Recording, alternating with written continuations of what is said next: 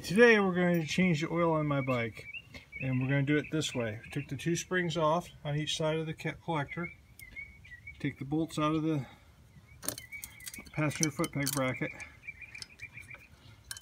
I've already loosened them so I cheated and it's going to take an extra minute to pull those out. Okay, then you take this, all as one unit from here right back to here. Take it all as one unit, just pull it out. This is really difficult. It's so hard. It takes hours and hours and hours and hours of your free time to change your oil. We're at 41 seconds so far, and I'm doing this with one hand. Two days of preparation, huh? Two days of preparation, yeah, exactly.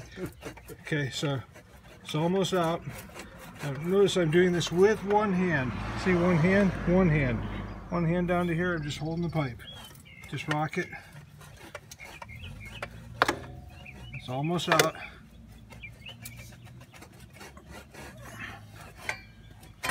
Voila, that's it. Takes just the same amount of time to put back in. We're a minute and 15 seconds. There's the oil filter, no pipe to get in the way.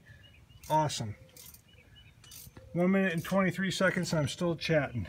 See ya.